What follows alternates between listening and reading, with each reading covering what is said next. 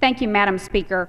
Folks back home in Kansas have been forced to tighten their belt and rein in family budgets to weather tough times. And we don't understand why Washington isn't willing to do the same.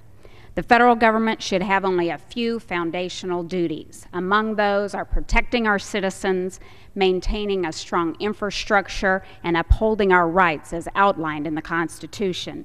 Notably missing from this list is the funding of political radio shows, particularly those that operate with the litmus test. The federal government is leaking money left and right, and it's time to plug some holes. Today's YouCut proposal will save the American taxpayers over $100 million and will be proof that Congress is ready to shrink and the size and scope of the federal government. I urge your support. Please oppose the previous question. I yield back.